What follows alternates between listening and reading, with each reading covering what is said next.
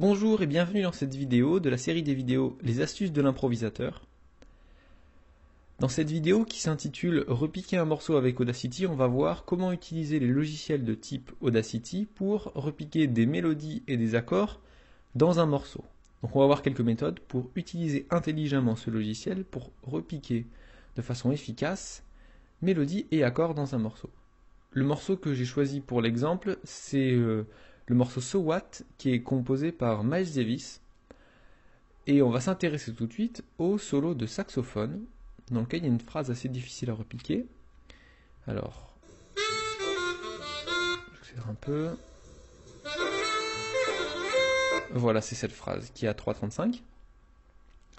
Euh, avant de la repiquer, on va voir quelques manipulations qui nous permettront de naviguer plus facilement dans ce type de logiciel. Quand on maintient contrôle et qu'on utilise la roulette de la souris, on peut dézoomer ou zoomer.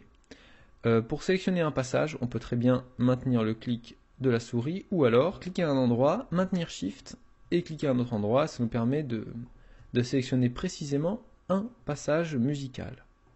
Donc intéressons-nous au début de cette phrase. Voilà. Euh, la première méthode, qui est très simple mais pourtant très efficace, c'est de sélectionner uniquement le début de la phrase. Voilà, donc là par exemple on a les trois premières notes. Euh, et ce qu'on va faire c'est qu'on va la jouer plusieurs fois cette phrase jusqu'à ce qu'on arrive à rechanter chacune des notes de cette phrase.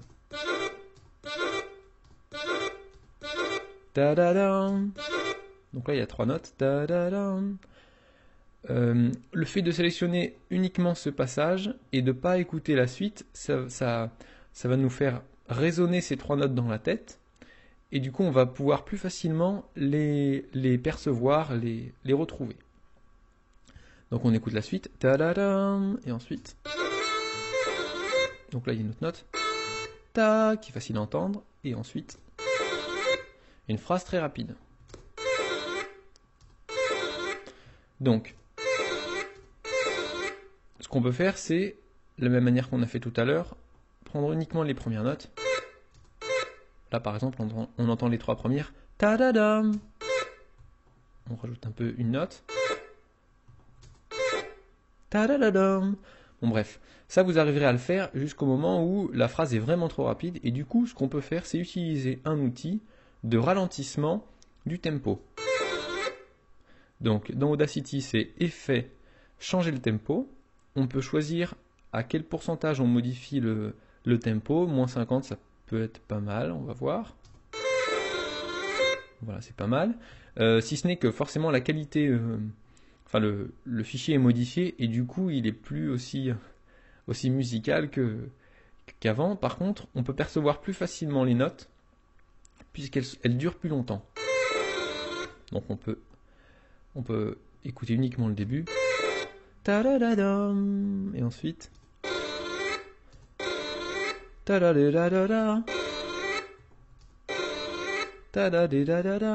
Donc toute la phrase. Donc voilà. À partir du moment où vous êtes capable de la rechanter la phrase, trouvez sur votre instrument, que ce soit la guitare, le piano, le saxophone, peu importe, trouvez comment, euh, quel doigté utiliser, euh, donc quelles sont les notes de cette phrase, mais à partir du moment où vous êtes capable de rechanter la phrase, eh ben, c'est qu'une question de, technique instrumentale pour retrouver les doigtés. Donc j'annule cette modification du tempo. Donc on a vu les deux méthodes euh, que je vous conseille d'utiliser souvent, qui sont euh, simplement sectionner la phrase pour que la partie sélectionnée résonne dans votre tête et que vous entendiez les premières notes d'une phrase rapide, ou alors modifier le tempo. Je vous conseille de pas trop utiliser ces dernières méthodes de modification du tempo, parce que, enfin, d'utiliser vraiment quand c'est nécessaire, parce que si vous faites ça, ça vous fera un peu moins travailler l'oreille, c'est-à-dire que euh, vous, faciliterez le travail et d'un certain côté c'est bien parce que vous gagnerez du temps, mais d'un autre côté vous ferez moins travailler votre oreille et quand même le but final, le but ultime du repiquage, c'est d'arriver à retrouver, à rejouer une phrase euh, sans la ralentir. Donc cet outil de ralentissement du tempo à utiliser avec parcimonie. Maintenant, on va s'intéresser au repiquage d'un accord. Donc on va aller au début du morceau. Il y a un accord joué par le piano. Voilà, c'est cet accord-là.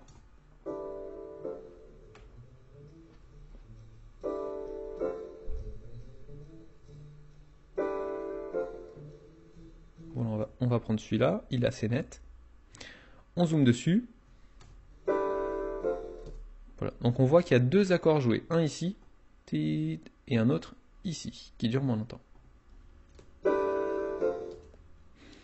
Alors, on va utiliser la même méthode que tout à l'heure, c'est-à-dire qu'on va sélectionner uniquement le premier accord, et on va le jouer plusieurs fois pour qu'il résonne dans la tête, et pour qu'on trouve petit à petit chacune des notes de cet accord.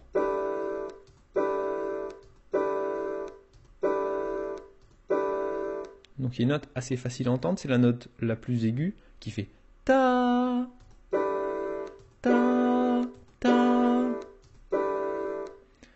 Il y en a une autre qui est un peu plus difficile à entendre mais qui s'entend quand même. Ta. Bon celle-là elle s'entend un peu moins mais elle s'entend quand même. Euh, et puis il va falloir trouver d'autres notes qui se trouvent dans cet accord, puisqu'il n'y a pas uniquement deux notes, il y en a un peu plus. Donc peut-être que cet exercice va vous paraître très difficile à faire.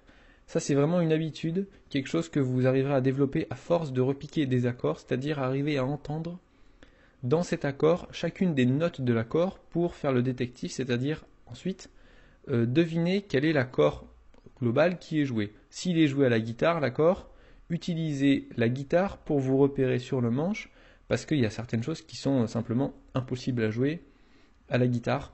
Donc euh, aidez-vous de, votre instrument, essayez de rejouer cet accord sur l'instrument, que ce soit un piano ou une guitare. Euh, et on va voir une petite méthode qui permet plus facilement de retrouver les notes euh, au sein d'un accord. Alors on a la note, on arrive à, à, entendre la note de la mélodie qui fait ta. Maintenant ce qu'on peut essayer de faire c'est de deviner les notes qui se trouvent un peu en dessous, un peu plus graves, d'en chanter une au pif et de voir si cette note est dans l'accord, ou si une note pas très loin se trouve dans l'accord. Par exemple, ta, est-ce que cette note est dans l'accord? Ta. Ouais, cette note se trouve dans l'accord. Écoutez l'accord attentivement, vous verrez qu'elle se trouve dedans. Euh, il y en a une autre aussi un petit peu plus aiguë. Ta, ta, ta. Donc, ta, ta, ta, ta. Si jamais c'est vraiment trop dur pour vous, ça comme exercice, vous pouvez vous entraîner sur des accords ben, un peu plus simples. Dans la pop, le rock, il y a plein d'accords majeurs et mineurs. Ça, c'est un accord un peu, un peu plus riche qu'un accord majeur ou mineur. Et puis, vous pouvez aussi vous entraîner, si c'est encore trop dur, sur les accords arpégés, c'est-à-dire jouer note à note. Là, l'accord est plaqué, donc toutes les notes sont jouées en même temps, mais sur un accord arpégé, vous entendrez une à une les notes de l'accord. Vous pourrez zoomer et écouter les notes une à une, donc ce sera plus simple pour entendre l'accord. Euh, maintenant, on va voir que quand même, il y a deux accords qui sont enchaînés, et du coup, on va se servir de cet enchaînement d'accords pour voir si on n'arrive pas à entendre des mélodies créées par les notes de ces deux accords. On entend par exemple dans les aigus, on a ti-dap, ti-da. On a un peu plus grave ta-da. On entend aussi ta-do. Et aussi ta-dom, ta-dom. Pour cette mélodie, ta-dom, la deuxième note s'entend un petit peu moins. Voilà. Donc si on écrit ça sur une tablature, ça va donner ça.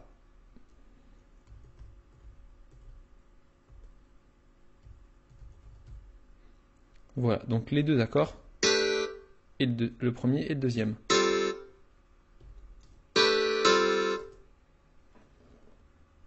Sachez aussi qu'il existe des logiciels tels que Transcribe par exemple qui vous, écrivent les notes détectées au sein du fichier audio. Par exemple, à ce, moment-là, il va vous écrire un accord supposé qu'il a calculé, donc forcément avec un taux d'erreur variable en fonction de la qualité audio du morceau.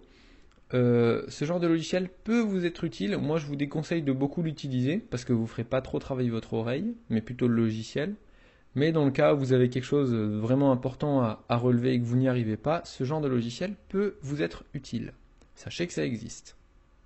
Quoi qu'il en soit, je pense que c'est important d'utiliser intelligemment le logiciel pour vous faciliter le travail, mais quand même pour vous exercer l'oreille dans le but d'arriver à terme à retranscrire tout sur le moment. Par exemple, quelqu'un joue une phrase, vous êtes capable de rejouer cette phrase parfaitement sur l'instant, ou un accord, de rejouer cet accord parfaitement sur l'instant. Ça, forcément, c'est le travail d'une vie. Mais à force de faire des petits relevés comme ça, avec ces méthodes-là, eh bien, vous développerez votre oreille et à terme, vous arriverez à, euh, à relever très rapidement des phrases ou des accords. Rappelez-vous aussi que repiquer un accord, par exemple, euh, ça demande beaucoup d'expérience, beaucoup de temps, beaucoup de patience aussi. Et si vous passez des heures sur à relever un seul accord, sachez que c'est pas du temps perdu, c'est du temps où votre oreille va s'améliorer et à terme vous serez capable de relever les accords beaucoup plus rapidement. J'espère que ce petit tutoriel vous aura permis d'être plus efficace dans vos relevés et d'avoir un peu plus de méthode pour relever les phrases ou les accords plus efficacement.